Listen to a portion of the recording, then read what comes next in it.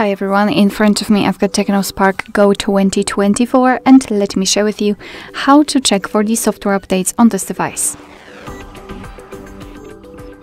So let's start with making sure that you've got the internet connection because it is required. You can use Wi-Fi or mobile data. However, I highly recommend to use Wi-Fi connection mm, and then we can enter the settings. Now all we have to do is to scroll down to the very very bottom to find the system. And as you can see on the fourth position in this first section we've got the system update. So let's tap on it. Now let's tap on online update and wait a second so your device will check for the updates and here we can meet two different scenarios this is the first one where your system is up to date and there's nothing to download of course you can tap on check for updates if you're not sure and your device will check again and the second scenario which we can meet is that your device will show you the information about the new update, so there's something to download.